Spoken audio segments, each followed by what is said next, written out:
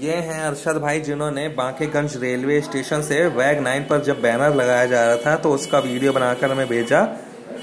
अरशद भाई, बहुत बहुत शुक्रिया आपका। थैंक यू सो मच आप जहाँ कहीं भी रहें, खुश रहें, आबाद रहें। एक छोटा सा वीडियो बांकेगंज रेलवे स्टेशन से यहाँ पर देखिएगा friends E loco trial. On date यहाँ पर लिखा हुआ है।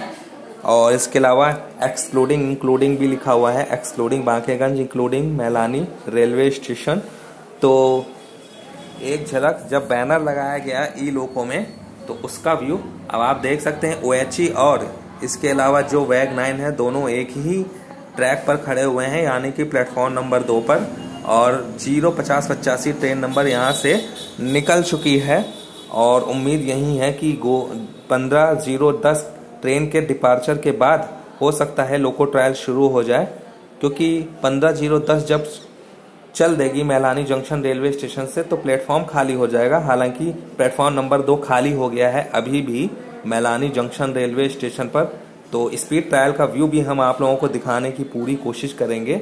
एक छोटी सी वीडियो और जानकारी। वीडियो को लाइक कीजिएगा, शेयर कीजिएगा, दुआओं में याद रखिएगा, अपना ख्याल रखिएगा। जय हिंद, जय भारत।